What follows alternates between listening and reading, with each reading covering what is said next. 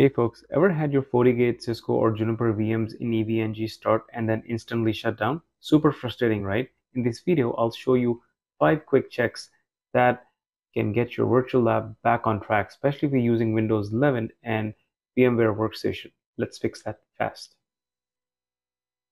Check 1. Nested virtualization is a must.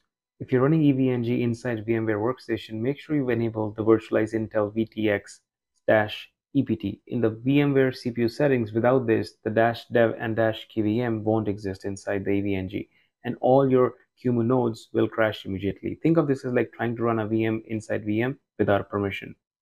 To do this, make sure you click on Edit Virtualization Machine Settings, click Processor, and make sure these two checkboxes are checked. Check to disable Hyper-V and VBS on Windows 11. Go to Turn Windows feature on or off. Make sure the Virtual Machine Platform and Windows Hyper Platform are unchecked. And if you see Hyper-V, uncheck that too. Go to Windows Security, Device Security, Core Isolation. Make sure the memory integrity is off.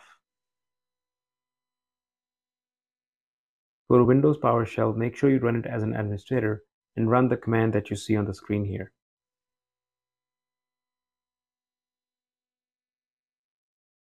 The goal is is kvm available in EVE-NG so log into your EVE-NG run this command ls-l-dev dash kvm expect the output as shown here.